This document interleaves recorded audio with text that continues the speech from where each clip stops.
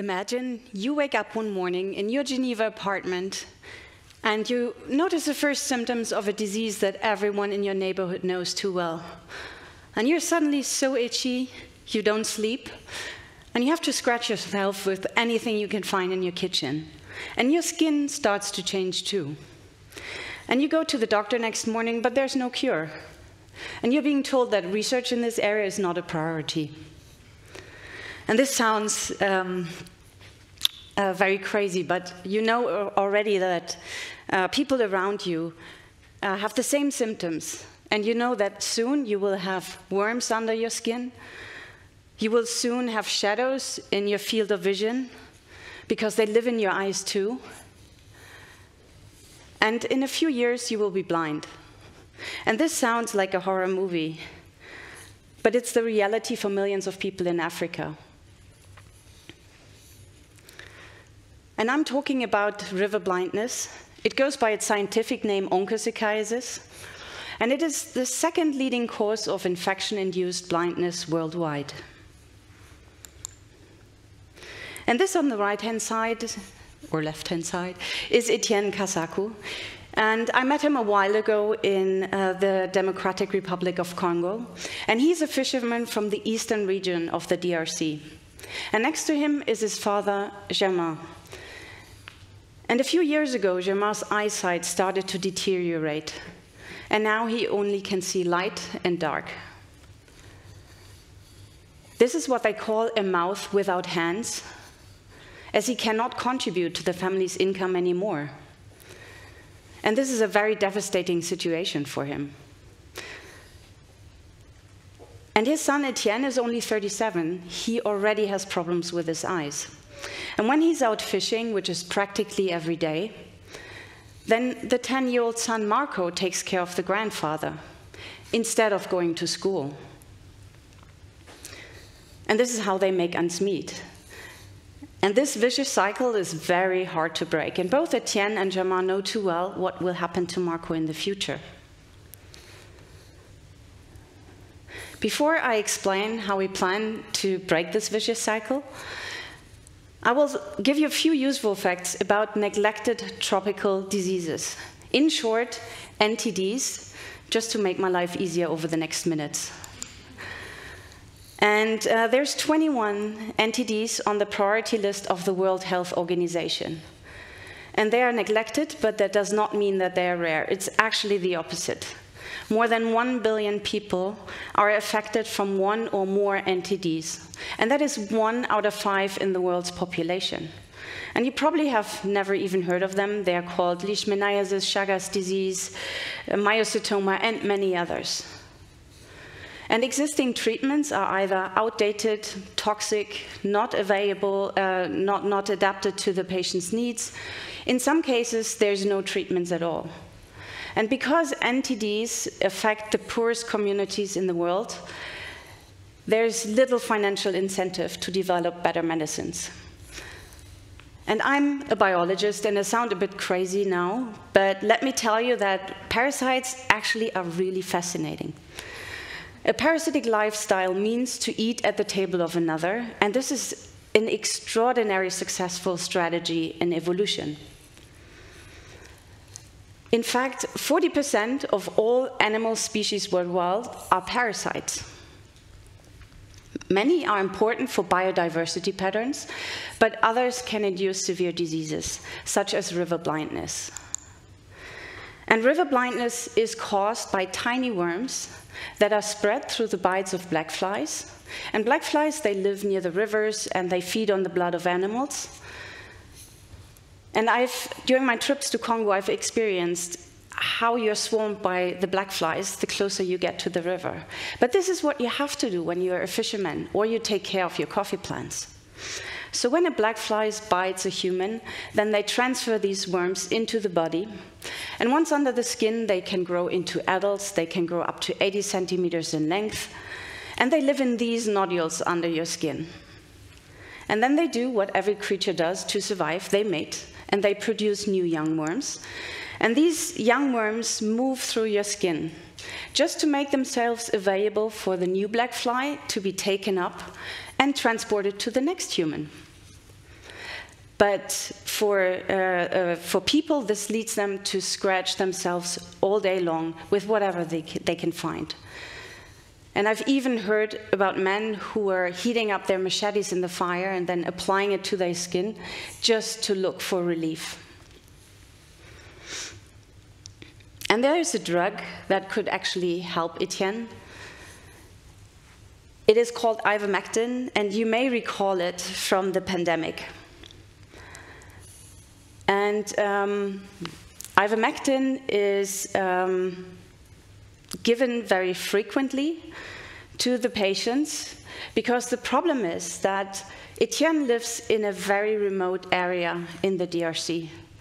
And even if he could travel for hours to get to the nearest pharmacy, even if he would have the money to pay for it, it would not be available in the local pharmacies.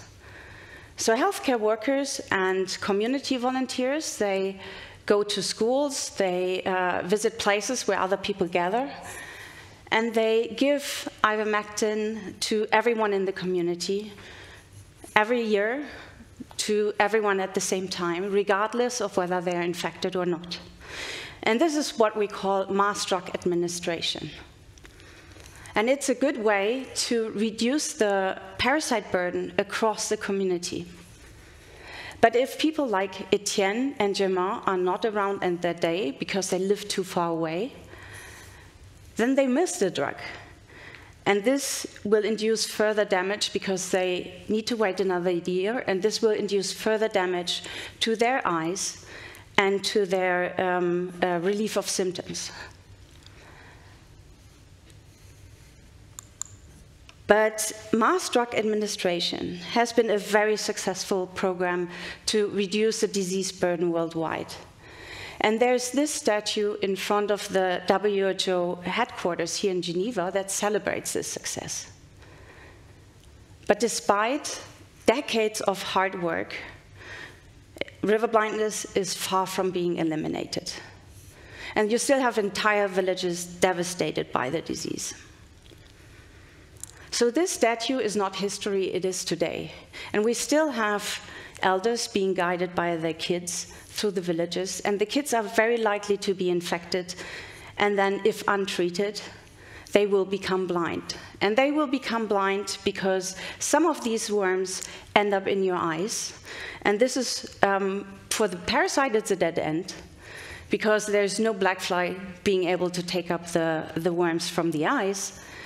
But for these little kids or for Etienne, this is catastrophic, as these worms will die eventually in the eye, and it is the human re immune response that reacts to these worms and then will lead to the damage in the eye. And if you do not treat it, then you will become permanently blind. And the problem with ivermectin is that it does not um, cure the patient, it only kills the young larvae, but it does not kill the adult worms. And it also does not protect you from new infections. So the communities basically have to treat very frequently with ivermectin, and they have to do that for at least 10 to 15 years, if not more. But many patients, like Germain and Etienne, they fall through this net because they have to work or they are just too far away. In an ideal world, we would have medicines that can cure the patients that would be available everywhere and whenever needed. So this is why I dedicated my professional life to find new medicines for these neglected tropical diseases. And one thing I learned was when studying parasite how incredibly difficult it is to find molecules to develop and deliver medicines in these very complex diseases. And you start with a molecule that acts on the parasite. It either kills the parasite or it um, starves it. And to find these mo molecules, uh, we collaborate with very different partners, for example, with pharma companies, and they have millions of such molecules in their libraries. And they make, make these, they open these libraries to us, but to test all these molecules takes time and money, And this is something that we rarely have in these underfunded area. So for worm infections, we tried something different. For, um, to, to, start with, interestingly, uh, we have to have um, a molecule, as I said, and in we actually have more uh, drug treatments for animals available than we have for humans. And this is a situation that we used. So our strategy is basically to identify veterinary registered drugs, see whether they could work potentially for human parasites, and this is called drug repurposing. And um, this is a good strategy to save time and money and move forward with confidence because we have already, we know that these drugs are working in animals.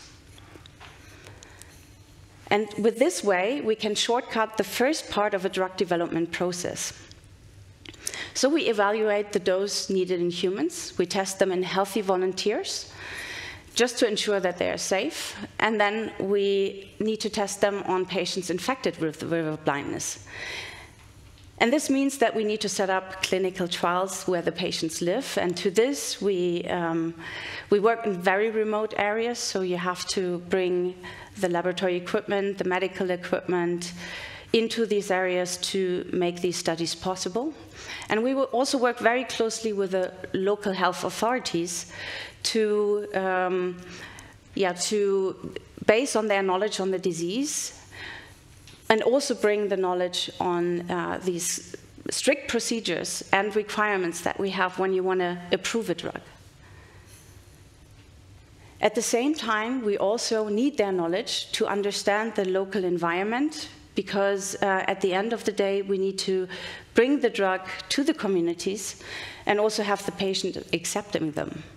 And just to give you a short example that all these efforts that we do in strong collaborations with many, many partners, that this actually will have an impact, is an example on a disease that is called sleeping sickness. It is also called human African trypanosomiasis, and it is a devastating disease in, endemic in Africa. Symptoms are neurological based. You have psychosis, you have aggressive behavior, and also sleep disruption. But more importantly, is that if you're untreated, almost every patient will die.